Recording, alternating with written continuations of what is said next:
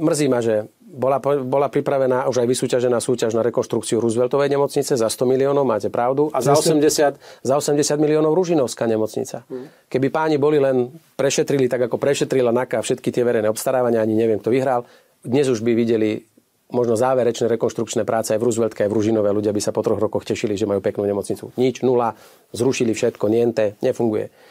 Dokonca v Banskej Bystrici je pani riaditeľka tak aktívna, že už má pripravený projekt na výstavbu novej nemocnice, komplet nového pavilónu v areáli starej nemocnice, alebo teda my ju voláme nová v Banskej Bystrici, ale priamo tam v areáli s novými pavilónmi, takže ja si myslím, že ak to má pripravené dobre a všetko sa ukáže, že je fajn, tak si myslím, že štát musí postaviť Rásochy ako špičkovú nemocnicu v Banskej Bystrici, teda nemusí ísť do opravy, ale do, do, do budovania úplne najmodernejšieho traktu, to bude stať možno niekoľko stoviek miliónov a treba sa pozrieť ešte na Košice a povedať si za 5-6 rokov, že máme túto akoby chrbticu týchto troch najväčších nemocníc, naj, najkvalitnejších hotovú a potom sa môžeme zaoberať tými ďalšími. Ale medzi tým treba do tých menších štátnych a súkromných alebo vúckových nemocníc posunúť čo najviac peňazí.